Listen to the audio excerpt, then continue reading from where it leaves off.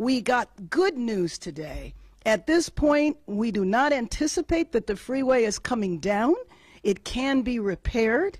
This is going to be an inconvenience of weeks as opposed to months, but weeks nonetheless.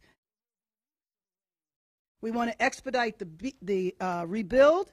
We want to support impacted businesses, and we want to reduce future risk.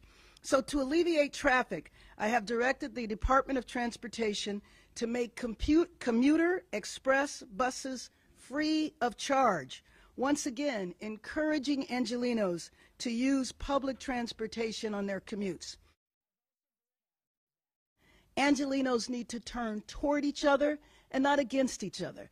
I've heard a lot of anger at the homeless community and homeless encampments.